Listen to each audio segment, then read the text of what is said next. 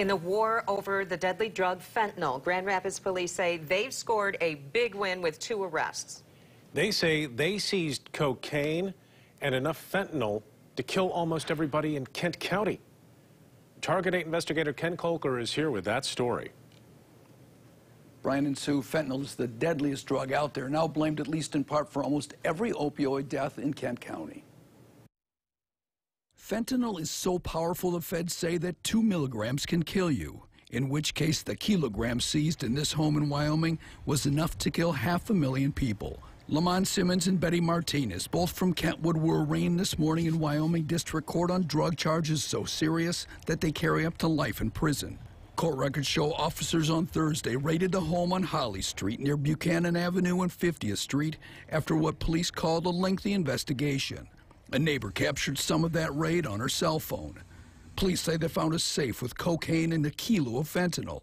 They also seized guns. Court records show police also pulled over Betty Martinez on Thursday and found seven kilograms of cocaine in the car after a dog picked up the scent of narcotics.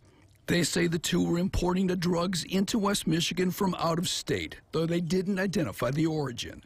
The Kent County Health Department says that 94% of the 63 people who've died of opioid overdoses this year in the county had fentanyl in their systems, often mixed with other drugs. Just seven years ago, fentanyl was in the mix in less than 20% of overdose deaths in the county. We've seen that increase just astronomically.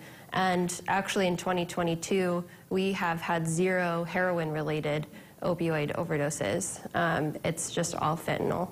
Sometimes mixed with other drugs like cocaine and meth, sometimes pressed into pills.